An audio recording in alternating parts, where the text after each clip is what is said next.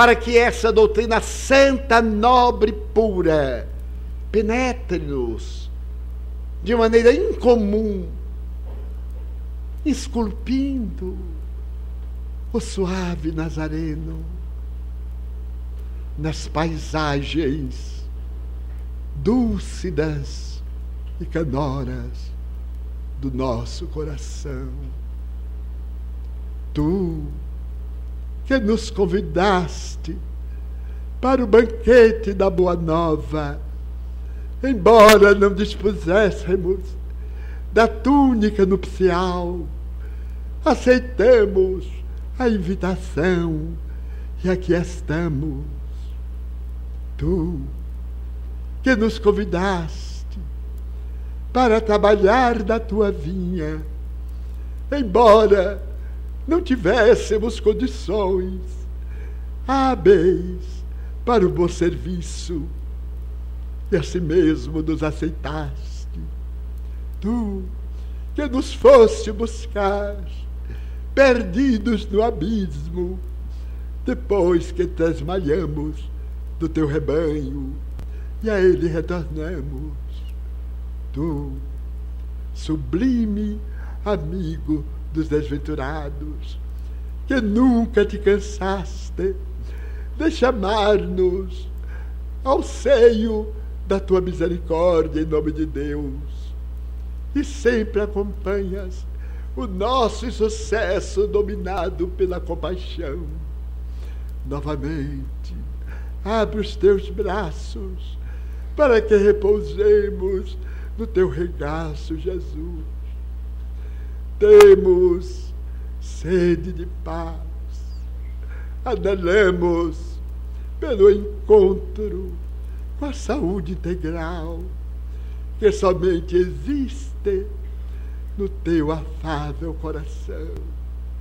Permite que deste conúbio em que tu desces até nós e nos metizas com as tuas energias santas, possamos representar-te em qualquer lugar por onde deambulemos, dizendo a todos que somos os teus discípulos, lentamente fiéis, carregando o madeiro das próprias aflições.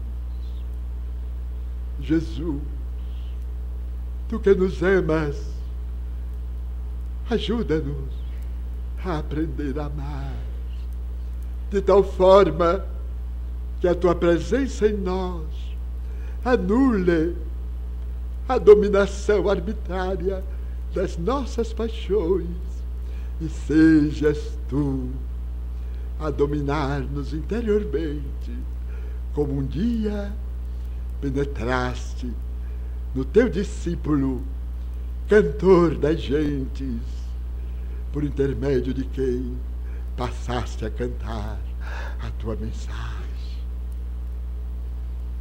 Segue conosco, Senhor, e ajuda-nos a conquistar o nosso mundo interior para que o teu reino se estabeleça em nós e se prolongue por toda a terra.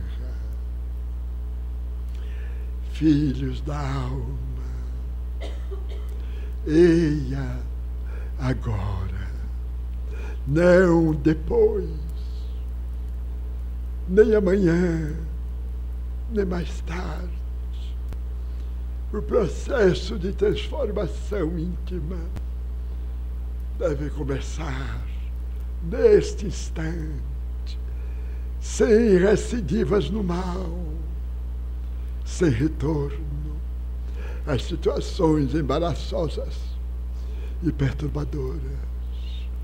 O Mestre conta conosco na razão direta em que nós contamos com Ele. Que brilhe, portanto, em nós a luz que vem dele, apagando por completo a treva teimosa que permanece nas paisagens do nosso coração. Muita paz, meus filhos. São os votos do servidor humilde e paternal de sempre, Bezerra.